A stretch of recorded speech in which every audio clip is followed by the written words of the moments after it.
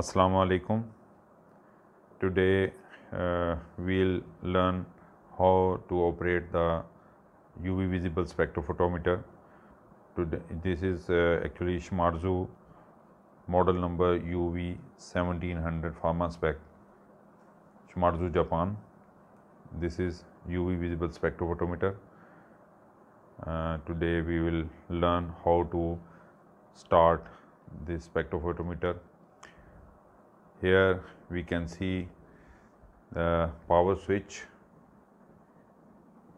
This is power switch. And we will start by pressing this switch.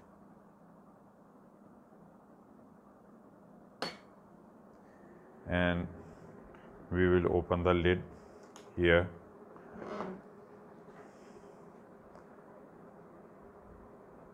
Now you can see it starts initialization. In this initialization you can see here it will check all its few parameters including ROM, RAM, filter origin, light source, lambda origin, W lamp, everything will be checked and uh, after checking each parameter it will become okay now you can see here the now it is checking light source. Similarly remaining parameters will be checked. While initialization I tell you about some keyboard. Here here are some features like return mode and printing feature and here you can see as a go to lambda it is a feature of uh, this 1700 UV spectrophotometer to set the wavelength during photometric mode. This is auto zero to set the absorbance or transmittance zero. Transmit in case of transmittance it will become 100 percent and in case of uh, absorbance it will become zero when we will press the auto zero here you can see the start and stop button. By pressing this button we start the run and this is enter button. This is all about the keyboard. These are four soft keys F1 F2 F3 and F4 these are used while observing the screen. When these four keys appears on the screen on the base bottom of the screen we can use these keys for different operations. Now you can see the initialization has reached near D2 lamp energy. This step will check the deuterium lamp energy and then at the last lambda check. While completion of this initialization step, we check the other parts of this spectrophotometer. Here you can see the lid. Remember don't, rem don't open the lid during the initialization step. This is main precaution during the operation of this spectrophotometer. Never open this lid during the initialization. Now this is last step you can see here D2 lamp energy is okay and now photometer is checking its lambda. If the lambda check is okay, then all initialization steps will be lit and the main menu will appear on the screen. Now you can see here all the steps are okay. It means the spectrophotometer is working perfectly all right and now the main menu has appeared on the screen. The main menu on the screen you can see here these are the different steps photometric mode 2 number is spectrum 3 number is quantitation kinetics time scan multi component photometric multi lambda and the optional program prac and the last one is the utilities in the utilities we can set different parameters like date and time lambda change, lamp change, wavelength, etc. Usually in the pharmaceutical industry, usually first two steps are used. One, one is the photometric mode. Now we start from the photometric mode, one number. We will press.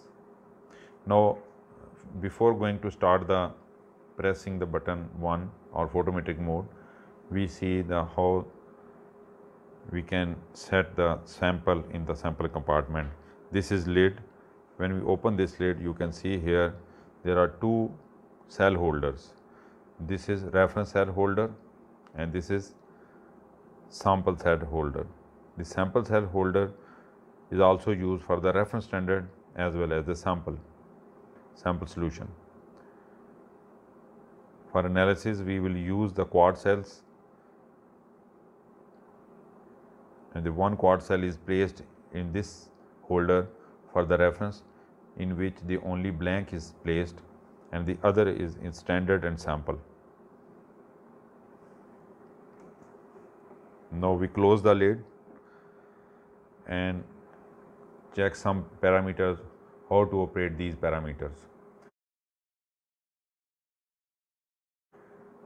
One number when we press the one number the screen will show the photometric mode. Now you can see on the screen this is 500 nanometer wavelength is set already set which is preset and the data is showing the 100 percent it means it is transmittance. We will use this soft key this soft key F1 likewise this F1 and it will become absorbance mode. Similarly, again we will push press the F1 it will convert into percent mode. So, usually pharmaceutical purpose we will use in the absorbance mode. This is wavelength. This wavelength is set as per procedure. If the wavelength in the procedure is mentioned 254 nanometer, we will set and we will change this spectrophotometric wavelength like this. We will press go to lambda, this is go to lambda and we will set here 254 key punch 254 and press enter. The wavelength will become 254. Here it is. 254.0 nanometer. So, the now wavelength has been set at 254 nanometer. Similarly, when we will go back to 500 nanometer, we will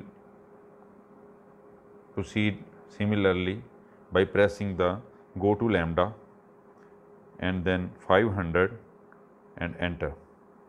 We will get 500 nanometer.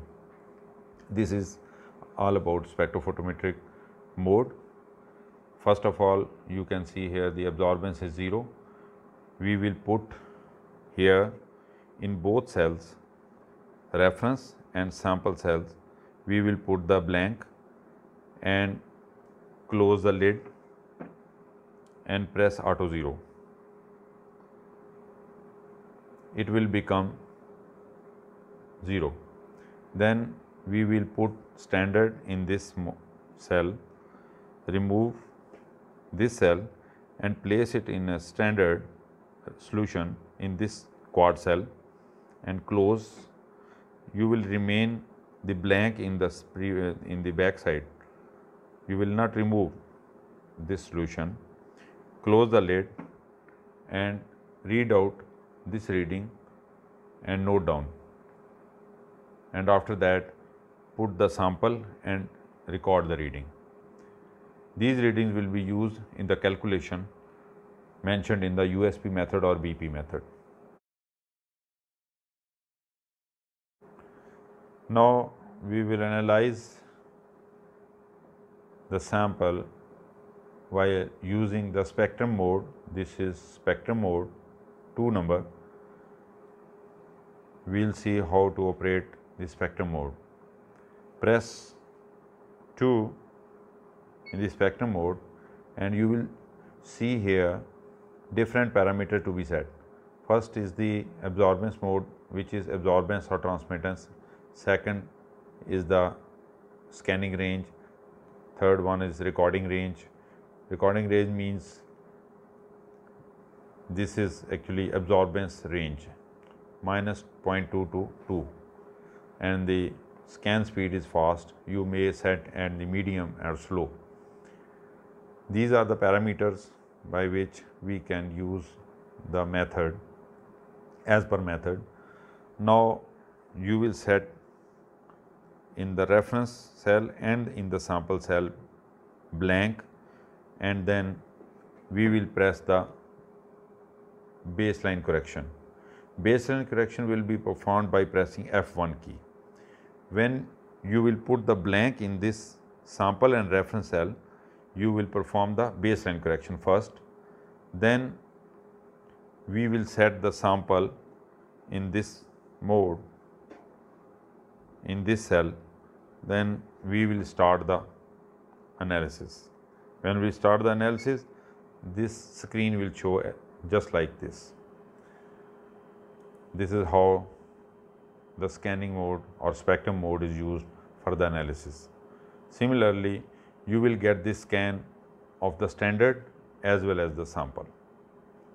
Here you can see the spectrum is on the baseline because we have put on the sample as well as in the reference cell we have put the blank. So, this is straight line. This is how the spectrum mode is used for the analysis.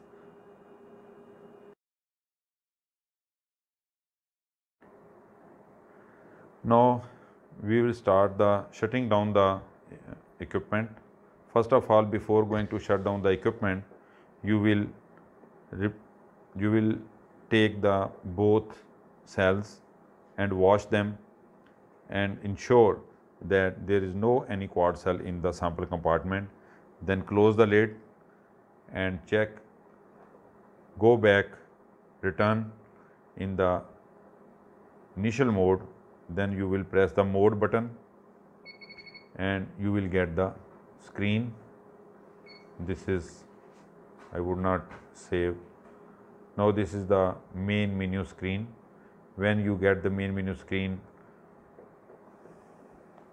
turn off the switch on the left side of the spectrophotometer from where we started it. This is the power switch. We will shut down like this. Thank you very much.